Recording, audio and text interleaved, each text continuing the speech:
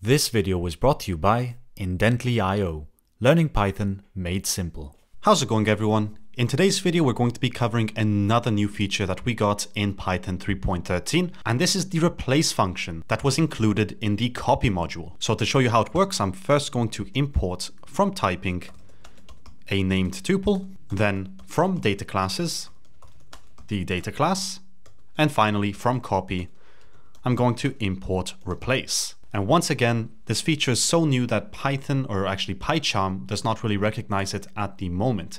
It's still going to work as long as you're using Python 3.13, but unfortunately you're probably going to get these red squiggly lines. Anyway, for the first example, we're going to be using a data class, and we're going to freeze it. So we're going to have a frozen data class.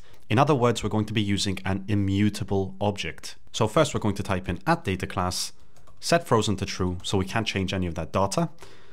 Then we're going to type in class item, and this item is going to contain a name of type string and a cost of type float. Now we can create something useful such as a cup, and that's going to be of type item, which will equal an item with the name of cup and the value of 10 currency. But now imagine you want to copy this cup.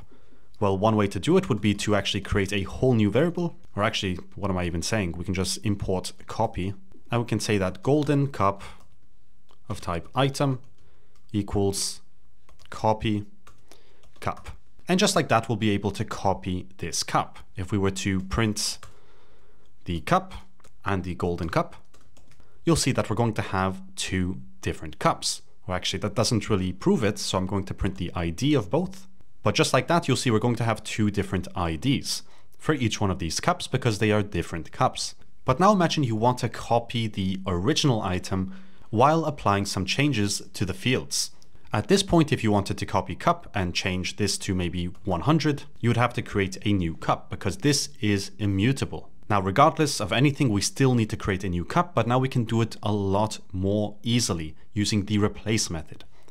So instead of copy, we're going to replace cup, which is going to create a copy. And here we can pass in some key value pairs for the values that we actually want to update or for the fields that we want to update. For example, we can set the cost here to 100 when we copy this cup. Now I'm going to copy the cup and the golden cup once again. And what you're going to notice is that with the golden cup, we're going to have the value updated. It's still immutable, so we can't change it during the lifetime of our program.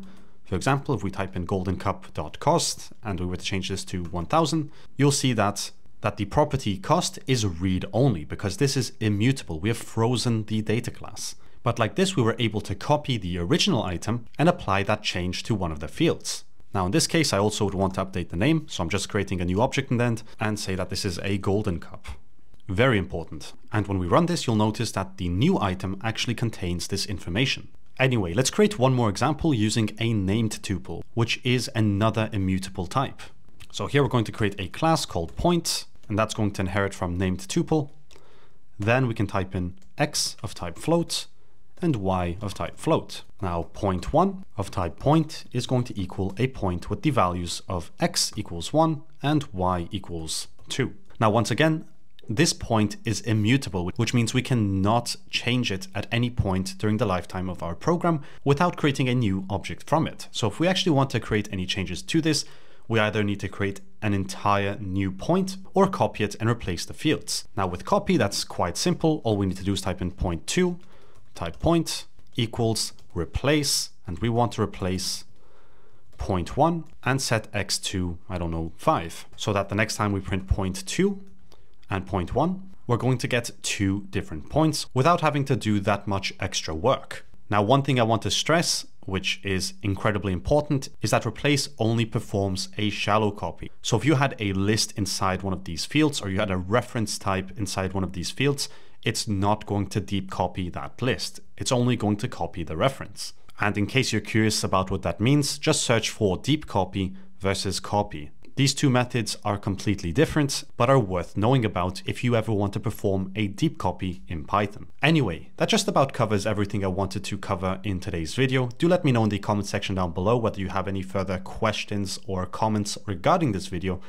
But otherwise, with all that being said, as always, thanks for watching and I'll see you in the next video.